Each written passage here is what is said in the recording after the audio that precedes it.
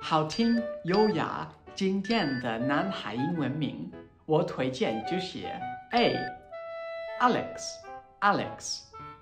This is short for Alexander, and it's a very popular English boy's name. Ben. Ben is a very short name, it's easy to pronounce, and it's popular.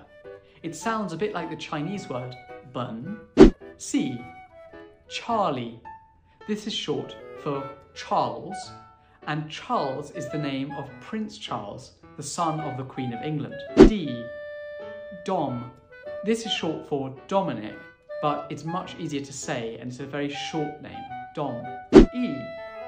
Eddie. Eddie is short for Edward, but it sounds cuter and it's more common to hear Eddie or Ed. F. Freddie, but it's a very popular name and it's short for Frederick, which is even harder to pronounce. In my next video, I'll tell you six more common English boys' names. 欢迎二到六岁孩子在 Lingumi APP 跟我学口语。